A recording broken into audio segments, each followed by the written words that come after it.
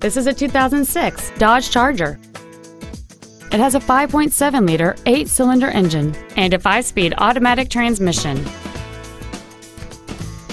Its top features include a double wishbone independent front suspension, power adjustable driver pedals, a low tire pressure indicator, traction control and stability control systems, a Boston acoustic stereo system, big 18-inch wheels, and satellite radio.